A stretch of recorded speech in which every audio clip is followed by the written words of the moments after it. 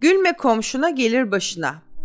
Birinin başına gelen kötü bir şey senin de başına gelebilir anlamında kullanılan bir atasözüdür.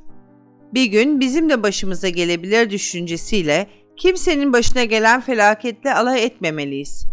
Başkalarının düştüğü kötü bir durum bizi mutlu eder, sevindirir, güldürürse eğer, aynı durumun kısa sürede bizim başımıza gelmesi kesin gibidir.'' Hangi konuda olursa olsun bir başkasının içinde bulunduğu kötü durum veya ondaki bir kusur ile asla alay etmemeliyiz. Çünkü dünyada olmayacak hiçbir şey yoktur. Zaman gelir hiç ummadığımız bir anda kendimizi alay ettiğimiz durumda bulabiliriz.